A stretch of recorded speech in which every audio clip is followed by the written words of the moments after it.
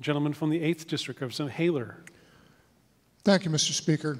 And I'm glad that the gentlelady from the 40th District made these comments that every child and every adult in this state deserves a great education. Yes, they do. But if we're taxing businesses to fund those ed education and taxing those businesses beyond what they can afford, where are these highly educated, good educated young men, young women going to work?